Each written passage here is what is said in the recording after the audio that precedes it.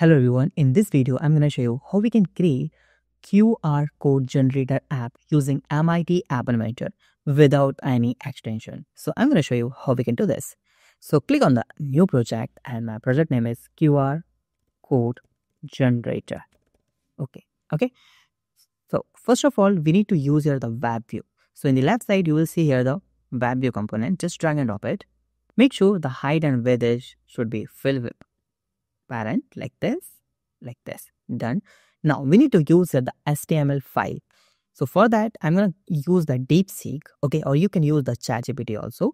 And just say here, write a HTML JavaScript code to generate a QR code in a single file. And we just need to wait some second and that will give us the one amazing code. We have that code run as HTML. Try this code here also. You can see the QR code generator. You can put any website.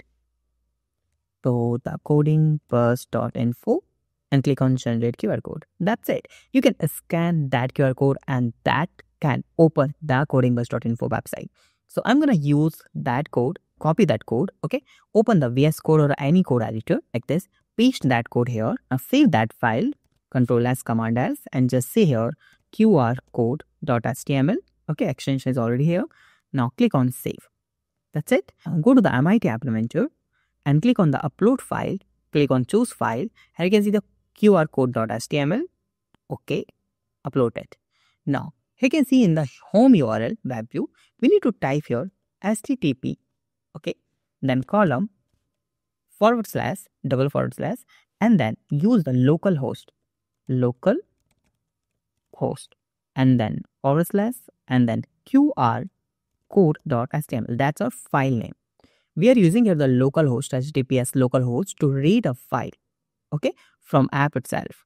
Now, that's it. Now, I'm going to just run this, how this will work. Connect AI Companion. I'm going to just copy this, open the app inventor here, connect with QR code. And let's see how this will look. See, fantastic QR code generator. You can put any website name here the codingbus.info and just click on generate QR code. Yeah, code is generated. Now you just need to scan that code or you can redirect to that website. You can take a screenshot and share that code with your friends. So if you have any doubt, you can in comment. Thank you so much for watching this video. Have a nice day. Be safe. Bye-bye.